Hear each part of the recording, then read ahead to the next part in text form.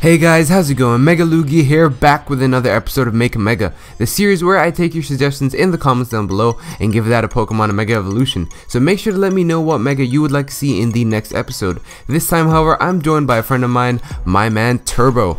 Yo guys, it's Turbo and I am super stoked to be on my boy Mega Lugia's channel jumping into a Make a Mega episode. Today we have one hell of an edgelord of a Mega and his name is Megastaraptor, so make sure you sit back, relax, and enjoy the video. Make sure to head on over to his channel if you want to see some dope, unique Pokemon content. Now without further ado, let's get into it.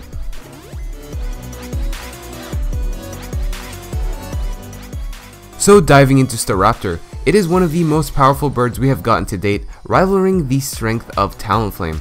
Having said that, it does outclass Talonflame in the attack base with a base stat of 120, utilizing high base power moves like Brave Bird, Double Edge, and Close Combat. Staraptor hits extremely hard and pairing it with a 100 base speed as well is a deadly combination, allowing it to become a very effective choice scarf user. Although its bulk isn't too much of a standout, Staraptor is good for one thing, which is dishing out some damage and even gaining momentum with moves like U-turn. It's easy to see why Staraptor is such a fan favorite and deserving of a Mega Evolution. Now looking at the abilities, Staraptor has two very useful ones. Its first being Intimidate, lowering the opponent's attack by one stage, which adds to the versatility with U-turn, allowing Staraptor to get in there, lower the attack, and switch out with some damage. Its hidden ability Reckless adds 20% of a damage increase to moves that cause recoil like Brave Bird and Double Edge. Staraptor just got even stronger and finding a safe switch in, even on a resisted attack, is not easy to find. Yo, as my boy Mega said, Reckless gives an increase of 20% to all moves with recoil, so that's a pretty solid ability for Staraptor, but Mega Staraptor's got to be even better, so we're thinking about this, and we were like, bro, the opposite of being reckless is to be precise. Let's give Megastaraptor precision. And I'm not talking about Megastaraptor learning how to use a ruler. I'm talking Megastaraptor getting 20% boost on recoil moves except 75% less recoil, making it not too broken yet still really good. Can you imagine Stab Brave Bird 20% boost as well on top of that with 75% less, less recoil plus access to Roost? That's longevity for days and I'm telling you right now. Then I was chilling and I was like, bro, have you seen Staraptor in the anime? Check it out, it's awesome total edge lord. When he uses Brave Bird, he sets himself on fire and electrocutes himself. So why don't we just give him Flare Blitz and Wild Charge as well? 20% boost on those, coverage for days, close combat, Brave Bird, Flare Blitz, Wild Charge. You're running out of moves. What are you to do? Give it that fighting typing, give it 20% extra on that um, stab boosted or 10%, I can't remember, close combat.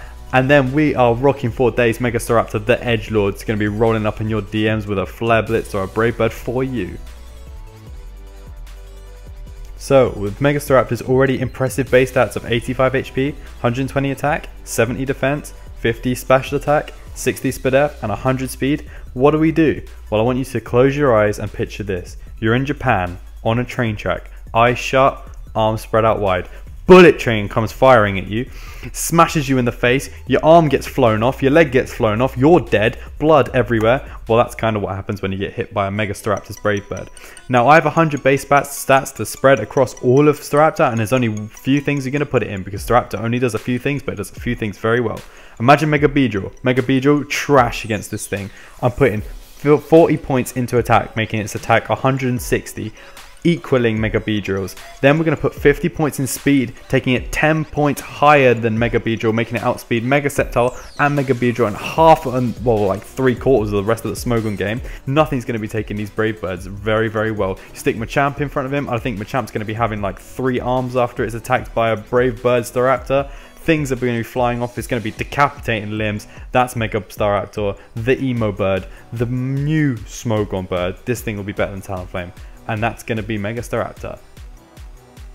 And there you have it guys, Megastaraptor. This one was requested quite a bit so I eventually got around to doing it. I hope I did it justice and you guys enjoyed watching. Don't forget to check out my man Turbo, his channel will be linked in the description down below so make sure to head him out. Of course, make sure to comment down below letting me know what Mega you would like to see next. Thanks for watching guys, hope you're having a great day. Mega Lugia here checking out. Peace!